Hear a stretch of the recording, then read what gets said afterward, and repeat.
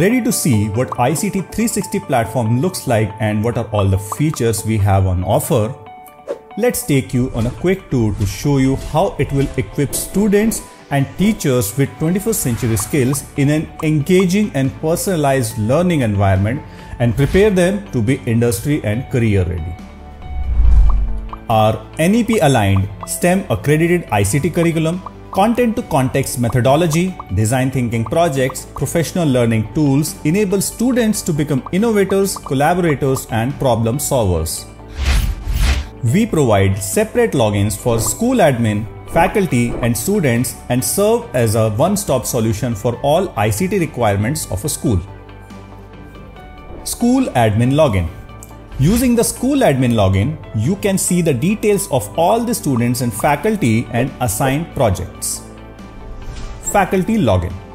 In the faculty login under My Learning section, there are project PPTs, lesson plans, activities, quizzes and multi-select quizzes, and learning resources on tool training etc. for teachers to help them improve their instructional practices with 21st century teaching skills. Under My Teaching section, teachers can see all the classroom projects and assignment projects. It allows them to assign projects to students. Under Student Project section, teachers can see the classroom projects, assignment projects, and practice projects of all the students. Under Activity slash Assessment section, teachers can view pending activities of students and notify them.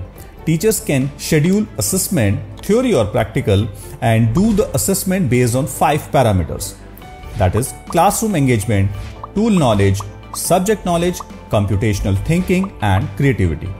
Practical assessment analysis includes tool knowledge, subject knowledge, computational thinking and creativity. Theory assessment analysis is based on Bloom's taxonomy. Student login.